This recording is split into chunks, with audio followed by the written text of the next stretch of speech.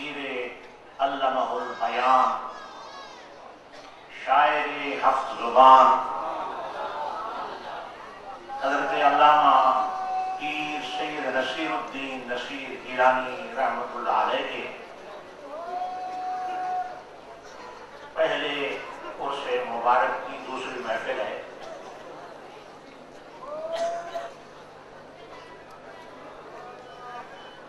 हज़रत किबरा पीर नसीरुद्दीन नसीर रहमतुल्लाह अलैह की शख्सियत के कमालात और अवसाफ और महामिद को मुकम्मल बयान करना ये बहुत मुश्किल काम है। अल्लाह ताला ने उनको शिफात कमाल और फनून का मरकज बनाया था। आज मैं सिर्फ़ उनकी शान महबूबियत शान मकबूलियत और खल के खुदा के दिलों के अंदर उनकी जो मोहब्बत पाई जाती है, कुछ इससे मुताबिक करूँ। ये शाद खुदाबंदी है बेशक वो लोग जो ईमान की दौलत से माला माल हुए और वो नेक आमार बजा लाए, अल्लाह ताला उनके लिए मोहब्बत पैदा फरमा देगा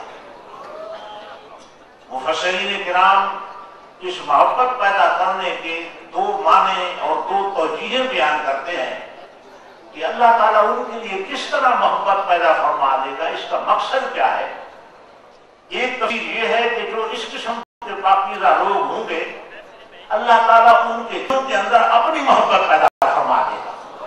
कि अल्लाह की मोहब्बत में वो सरशार होंगे, अल्लाह की जात के साथ वो लव लगाए हुए होंगे और खुदा के तौहीद के तस्वर और अकीदे का उन पर ऐसा गलबा होगा कि गैर उनकी निगाह में कोई वक्त नहीं होगा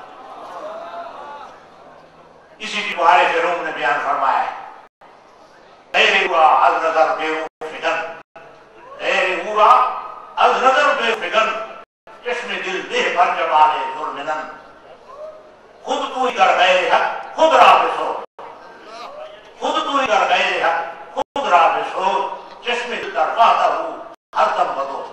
उनके दिल में अल्लाह की मोहब्बत इस तरह जागुजी हो जाती है, इस तरह मरकूज हो जाती है कि फिर किसी और चीज़ को करार नसीब नहीं होता, उनके कल्ब के अंदर।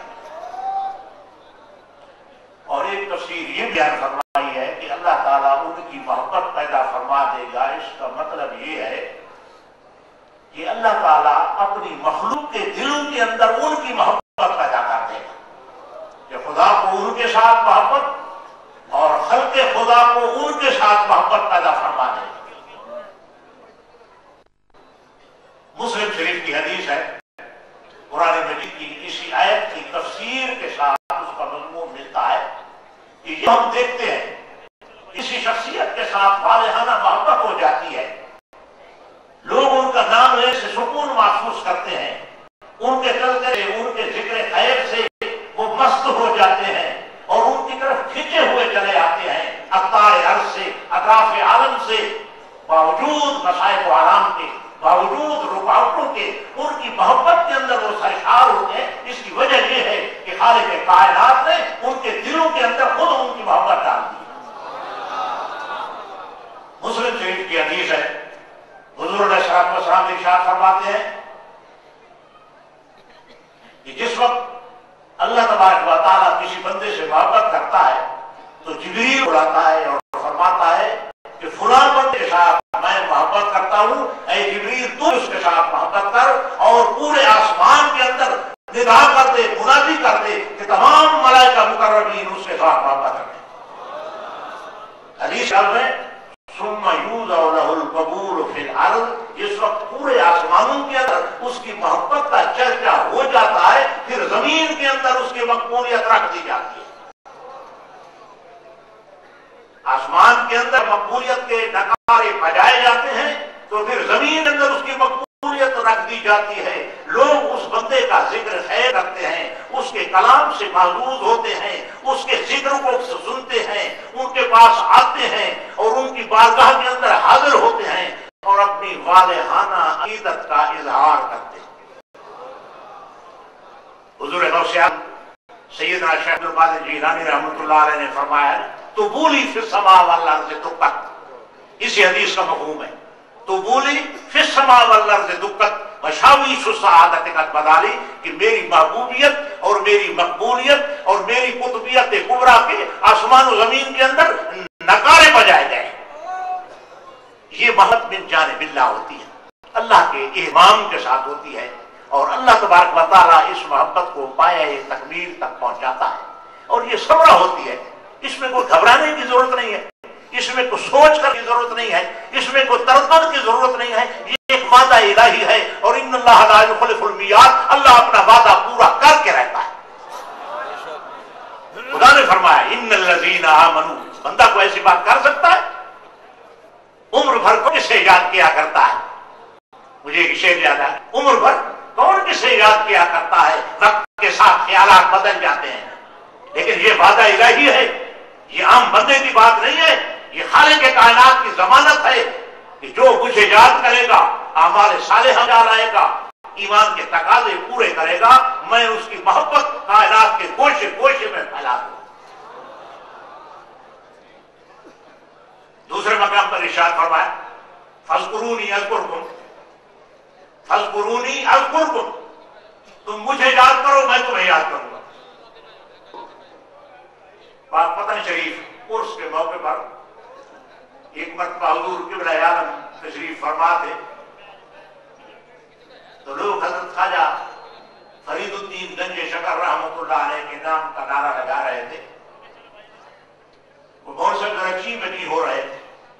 जबान जरा जी बनी हो रहे थे। इरफान नहीं होता मुताला नहीं होता, समझ नहीं होती बात तो बात का, फौरी उसका रद्द ज़ाहिर कर दिया। हज़रत के सामने हज़रत आप ही बैठे हुए और यहाँ पर शिरक हो रहा है। हज़रत ने इशाद फरमाया मौल साहब, पुराने मजीद में तो साबित है। और हैरान हो गए पुराने मजीद में कैसे साबित है या फरीद कहना आपने इशाद फरमाया, आराम से जरा बात सुनना। नारू की गूंज में सारा मसला खत्म ना हो जाए, जरा आराम से बात करना, हौसले से सुनना फरमाया फल कुरूनी अल्कुरकुम। अल्लाह फरमाता है कि तुम मुझे याद करो, मैं तुम्हें याद करूँगा। ज़ाहिर है कि बाबा फरीद ने सारी ज़िंदगी याद इलाही के अंदर गुजारी है। इससे तो इनकार नहीं है। उन्होंने अपनी पूरी ज़िंदगी अल्लाह की याद में गुजार दी है तो आप भी मानते हैं, कहने का बिल्कुल ठीक। फरमाया वादा इलाही रहता है कि अजपुर को मैं तुम्हें याद करूँगा। याद ज़ुबान से होती है, ज़िक्र ज़ुबान से होता है, अल्लाह ज़ुबान से पाक है। ज़िक्र जहन में होता है, अल्लाह जहन से पाक है। ज़िक्र कल्ब से होता है, अल्लाह कल्ब से पाक है। खुदा कैसे ज़िक्र करेगा उसका? वो तो ज़िक्र जिनों के ज़रिए होता है, जो असबाब ज़िक्र के हैं जिनसे ज़िक्र किया जाता है अगर खुदा के लिए ये साबित करोगे शिर और कुफर लाले आएगा अल्लाह इन तमाम चीज़ों से पाक है लैसा कमिश्रे ही है उसको कोई मिसाल नहीं है उसको कोई मिसाल नहीं है ऐ गुरु रहम कालो कीले मन हाथ के बनो तमसील बनो उसकी कोई मिसाल नहीं, ना उसका दिमाग है, न उसका दिल है, न उसकी ज़ुबान है।